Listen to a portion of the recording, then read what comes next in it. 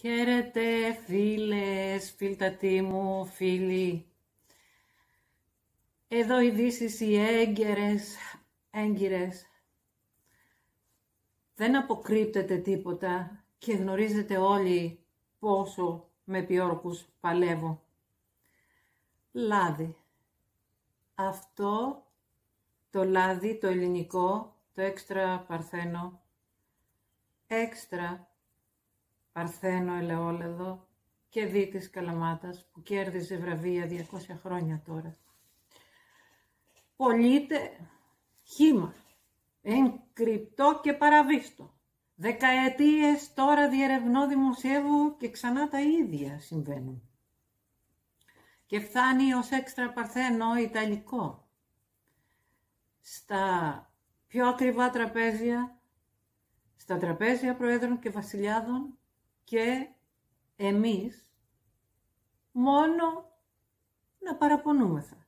Δεν συσπυρώνονται οι αγρότες από σπασμωδικές ε, κινήσεις στα εκάστοτε Υπουργεία; Τι συμβαίνει, ποιοι επωφελούνται από όλα αυτά; Είναι δυνατόν μέσα στο Κολόμπο, σε φαρμακείο, στη Στριλάκα, προ επταετίας.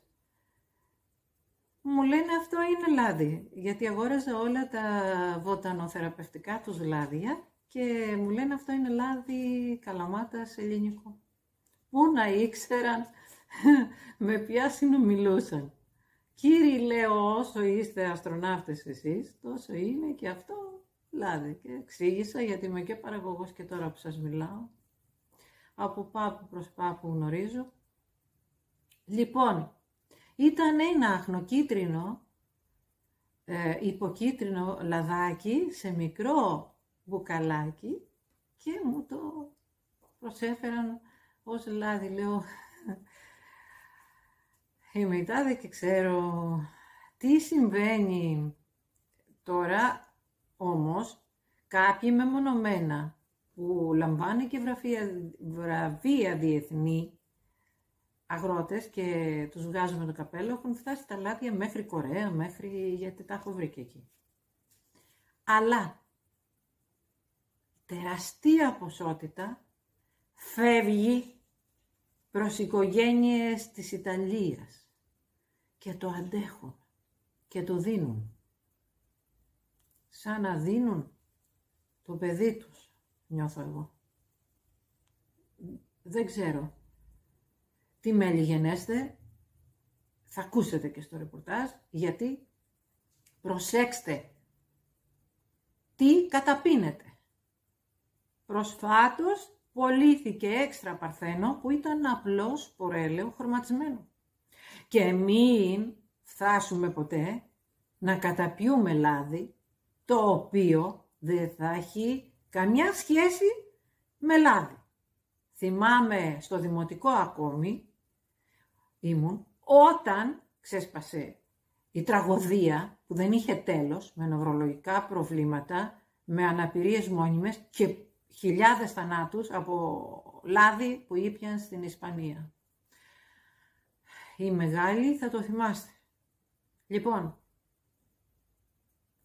ακούστε, γιατί τα πλαστικά λάδια τα οποία δεν ανοιχνεύονται όπως είχε πει ένας καθηγητής της Θεσσαλονίκης στο Πανεπιστήμιο εκεί και το είχα δημοσιεύσει εγώ πρώτη πρώτη. Έτη πολλά πίσω και ο σήμερα δεν τολμεί ε, να τολμούν να το πει κανένας. Προσοχή τεραστία και για την περιφρούρηση αυτού του χρυσού καρπού, του θεραπευτικού μοναδικού και η αγατινά της εμπορικότητάς του και άλλα.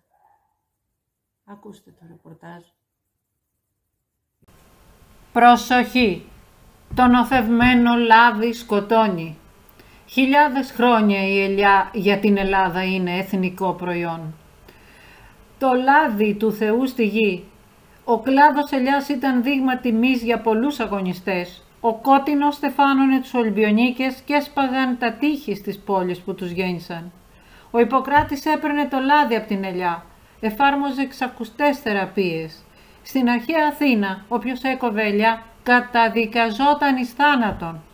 Σήμερα τα καλοδιατηρημένα παλάτια του βασιλιά Σοφού Νέστορα στην αρχαία Πύλο, σημερινό χωριό χώρα τριφυλίας, που πολέμησε στην Τρία, πλαισιώνονται από παραμίλου επιβλητικότητας και κάλους, τεράστιες ελιές και η κορμή τους στην πατρίδα μου, στο μουσείο εκεί, λάμπουν. Λάμπουν και τα ολόχρυσα κτερίσματα. Ο Μιτεράν πριν δεκαετίες είχε αναφωνήσει ότι το λάδι της Ελλάδας δεν συγκρίνεται με της Νότιας Γαλλίας. Βασιλείς και πρόεδροι Ηνωμένων Πολιτειών επέμεναν να υπάρχει στο τραπέζι τους το έξτρα παρθένο ελληνικό ελαιόλαδο, αφού εκατονταετίες τώρα βραβεύεται σε διεθνείς αγορές. Ταυτόχρονα με την κύρια ιδιότητά μου είμαι και παραγωγός ελαιολάδου και βρόσιμων στην Πύλο. Στο χωριό μου Βλαχόπουλο υπάρχουν μαυροελιές που οριμάζουν τον Οκτώβριο και εξάγεται το μαυρόλαδο που δεν υπάρχει σε άλλα μέρη. Αυτό το θείο προϊόν όμως δεν έτυχε της δέουσας σημασίας από τους εκάστοτε ηθήνοντες και ακόμη το συναγωνίζονται σπορέλαια και δι επικίνδυνα και οι οικογένειες γνωστών Ιταλών εμπόρων που το συσκευάζουν ως Ιταλικό και έτσι κατέχουν τα πρωτεία στις εξαγωγές προς Αμερική. Μην ξεχνάμε τα χιλιάδες θύματα της Ισπανίας το 81-82 με ενοθευμένο ελαιόλαδο, με ραφινέλαιο, βιομηχανικό λάδι. Προσοχή, είχε προέλθει από την Ισία και Μαρόκο αυτό. Ως τη δίκη εκείνων των απατεώνων είχαν νοσήσει 75.000 άτομα, 1.200 είχαν χάσει τη ζωή τους και 4.000 είχαν υποστεί μόνιμες αναπηρίες. Προσοχή, προσοχή, είναι δύσκολη η ανείχνευσή του του πλαστικού εννοώ. Νάιλον λάδια συναγωνίζονται το έξτρα παρθένο ελαιόλαδο, μου είχε τονίσει ο καθηγητής Πανεπιστημίου Θεσσαλονίκης κύριος Βασίλειος Καπούλας και μου εξηγούσε η χημεία μπορεί να ανοιχνεύσει την όθευση, η παραχημεία όμως βρήκε τρόπους να ξεπερνάει την ανείχνευση με τη θέρμανση των σπορελαίων. Έτσι καταστρέφονται τα στοιχεία υπεύθυνα για χρωματισμό και αυτά είναι τα μη ανιχνεύσιμα. Τα πυρηνέλαια, τα βενζοπυρένια που περιέχει είναι καρκινογόνα. Ένας άριστος λόγος να μην προτιμάτε το έτοιμο φαγητό. Το πυρηνέλαιο μαζί με ηλιέλαια, βαμβακέλαιο που ευθύνεται για στήρωση ανδρών, αραβοσιτέλαια, καπνέλαια, χρησιμοποιούνται ακόμη από πολλές βιομηχανίες παρασκευής εδεσμάτων και εσείς τα αγοράζετε και τα τρώτε και σας φαίνονται πεντενόστιμα και υγιεινά. Οι ετικέτες πολλές φορές είναι παραπλανητικές. Γράφουν έξτρα παρθένο χωρίς να είναι. Προσοχή, προσοχή, η τιμή παίζει ρόλο. Στα σούπερ μάρκετ ένα εξαιρετικά παρθένο ελαιόλαδο στοιχίζει 25 ευρώ το πεντόλιτρο. Δίπλα του άλλη εταιρεία πουλάει 23 ευρώ το πεντόλιτρο, φτιαγμένο από εξευγενισμένα έλαια. Έρευνα έδειξε ότι το 95% των καταναλωτών αγοράζουν το φθηνότερο, το οποίο αποτελείται από λάδια πολύ κακής ποιότητας. Γιατί εδώ προσέξτε, εδώ προσέξτε, η νομοθεσία πράττει έγκλημα αφού επιτρέπει να πουλήσεις αυτό το λάδι σαν γνήσιο ελαιόλαδο αν του προσθέσεις ένα 5% εξαιρετικού παρθένου για το άρωμα. Η κορονέικη ποικιλία ελαιολάδου κάτω στην πατρίδα μου με οξύτητα κατά μέσο όρο 0,3 ανήκει στην κατηγορία εξαιρετικά παρθένων. Ποτέ αυτή η περιοχή δεν παρήγαγε άλλης ποιότητας ελαιόλαδο. Γι' αυτό και είναι πολύ συχνό το φαινόμενο της μεταφύτευσης της καλαματινής ελιάς. Ως και στην Αυστραλία το παράγουν πλέον και δει βρόσιμες ελιές. Αλλά ο δένας τόπος κατάφερε να φτάσει ποτέ την ποιότητα του καλαματιανού ελαιολάδου. Τι πρέπει να κάνετε αν υποψιαστείτε νοθεία; Θα σας ζητηθεί μεγάλη ποσότητα στο χημείο, μη σας κοροϊδεύουν, μεγάλη και ακριβείς αναλύσεις τουλάχιστον. Ζητήστε να γίνει ανάλυση των τιμών κάπα και της οξύτητας. Όταν το έλαιο είναι νοθευμένο με σπορέλαιο, η τιμή οξύτητας θα είναι χαμηλή, εφόσον τα σπορέλαια είναι χαμηλής οξύτητας και η κάπα 270 θα είναι ιδιαίτερα υψηλή. Ποια τώρα είναι η διαφορά ανάμεσα στο συμβατικό και στο βιολογικό. Στη βιολογική καλλιέργεια όπως ο παππούς μας και οι προπάποι μας χρησιμοποιούμε φυσικά λιπάσματα κοπριά, ποζοάκια, χαλκό και παγίδες για τα έντομα. Στη συμβατική χρησιμοποιούν χημικά δηλητήρια. Η διατήρηση του παλιά εγέννητο σε πιθάρια. Συντηρούσαν υγιεινά και σωστά το λάδι στη σωστή θερμοκρασία αφού ήταν θαμμένα στη γη, μακριά από το φως, το τεχνητό και το φως του ηλίου, διότι έτσι οξυδώνεται. Στις πόλεις το συντηρούμε σε σκοτεινό μέρος, δροσερό, σε τενεκαία από λευκοσίδρο ή σε σκουρόχρωμα γυάλινα μπουκάλια.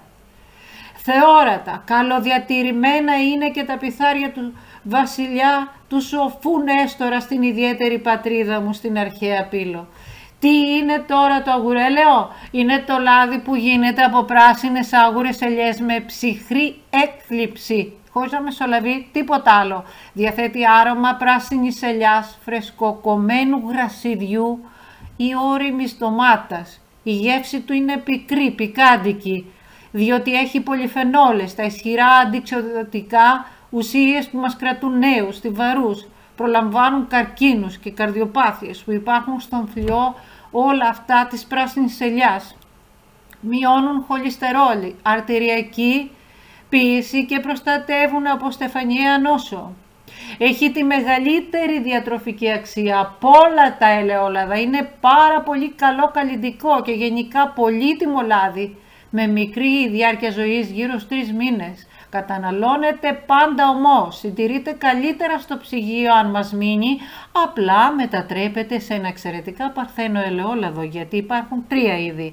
Το απλό ελαιόλαδο, το παρθένο ελαιόλαδο και το εξαιρετικά παρθένο που παράγει η πατρίδα μου. Είναι ένα φυσικό καλλιτικό όπως είπαμε από αρχαιοτάτων χρόνων. Να σας πω που το χρησιμοποιώ κι εγώ. Αφαιρεί μακιγιάζ, κάνει και για το δέρμα μωρών. Ενυδατώνει την επιδερμίδα παράλληλα με μέλι. Με κερί μέλισσα σπίζει και γίνεται κρέμα. Οι γιαγιές δεν είχαν ρητίδες και ας ήταν εκτεθειμένες όλες τις αντίξωες συνθήκες. Έγινα μάρτυρας θανάτου τριών γυναικών στο χωριό μου ηλικία 114 ετών. Φέτος προημερών αποχαιρετήσαμε άλλη μια γιαγιά 104 ετών. Και πάντα υπάρχουν στο 40% του πληθυσμού εκεί υπερήλικες άνω των 90 που φαίνονται ως 60 το πολύ. Για χαρά.